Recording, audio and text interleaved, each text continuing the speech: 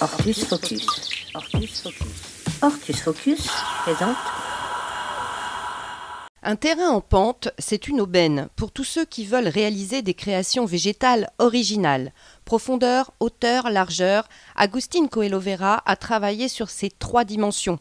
Des constructions en briques, en bois, en pierre lui ont permis de surélever des végétaux et de jouer sur les volumes. Les plantes peuvent ainsi se mélanger sans se gêner. En fait, chaque plante été bien étudiée avant de les planter, taille adulte, besoin en luminosité, euh, compatibilité avec d'autres plantes qui sont autour.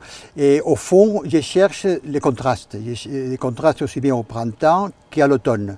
Au niveau des couleurs, au niveau des tailles des feuilles, au niveau des textures, c'est quelque chose qui... Euh, fait partie de la base de, euh, de, mes plantations. Les végétaux sont plantés très serrés pour faire éclater leur contraste ou souligner leur complémentarité.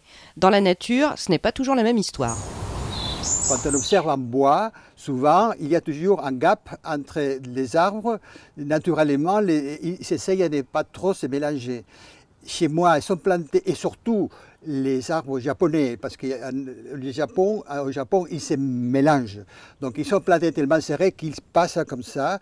Et on a des, branches avec des feuilles rouges, des feuilles jaunes, petites et grandes. C'est ça l'un des intérêts de ce que j'ai fait ici. Le JAF est également conçu pour dépasser une idée reçue, celle selon laquelle les érables c'est beau à l'automne et puis c'est tout. Pas du tout l'avis d'Agustine. Pour lui, ces arbres et arbustes sont intéressants en toute saison. Explication. La plupart des érables connus dans l'Amérique du Nord sont surtout pour l'automne quand les plantes, pour voir les beaux rouges de, l'érable rouge de l'Amérique du Nord, l'acérobrome, etc. Les érables asiatiques, par contre, sont des érables qui ont un intérêt tout le temps. Les érables japonais, les, cultivars d'Acerpalmatum japonicum, ils ont une variété de feuillages extraordinaires, de couleurs, de, de veinages au printemps.